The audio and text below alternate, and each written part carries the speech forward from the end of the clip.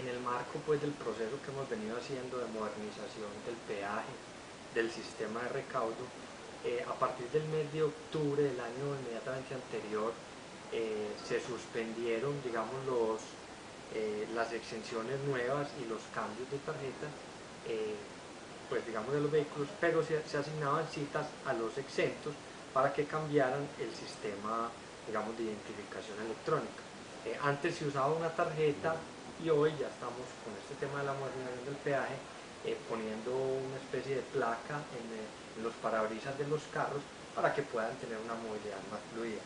Eh, esto lo hemos venido haciendo desde, como digo, desde el mes de octubre, venimos dando las citas a través obviamente del concesionario para hacer la reposición de, vehículos, del, sistema, perdón. Hoy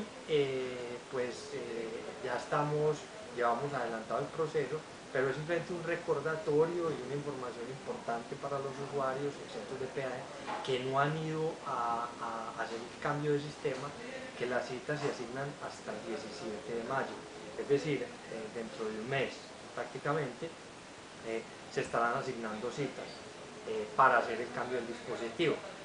quien ya pues obviamente no, no haga este, esta solicitud de asignación, que esto también nos sirve inclusive para depurar la base de datos, pues ya perderá el beneficio. Se ha dado un espacio bastante amplio desde octubre del año pasado hasta mayo y pretendemos con ello pues que la gente eh, haga uso de este, de, este,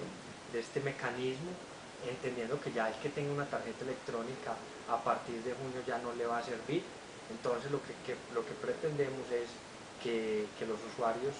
eh, pues tengan la información, se les estará entregando un volante también en la estación de peaje eh, para que tengan esta información y a cada uno de los beneficiarios de la exención de pago de peaje se le mandará también un oficio en el cual se le recuerda esto, pues los que ya lo hicieron no tienen problema, eh, ya pues cumplieron con esto, pero quienes no lo han hecho, pues para que soliciten la cita, soliciten ese espacio y puedan obviamente eh, hacer uso de este beneficio. Se está dando una línea de teléfono